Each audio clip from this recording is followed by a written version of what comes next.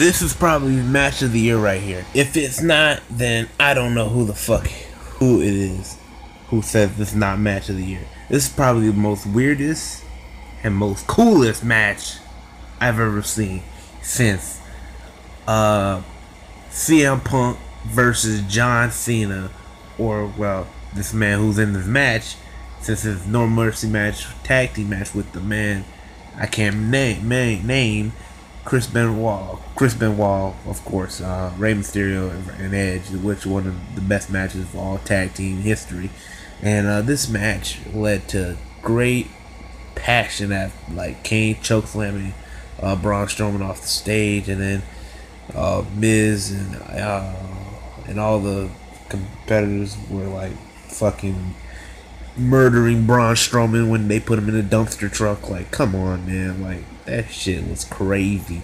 You're telling me this will be the match of the year, bro?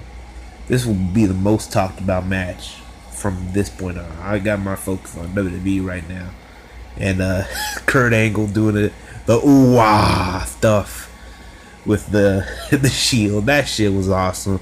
That was awesome, bro.